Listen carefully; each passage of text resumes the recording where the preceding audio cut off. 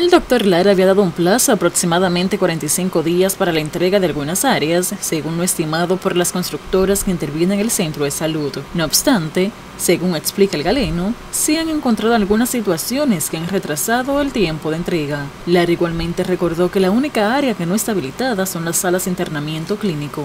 Y se ha encontrado que cuando comenzaron a demoler, las filtraciones volvieron entonces a caer en recursos humanos, en contabilidad y en dirección.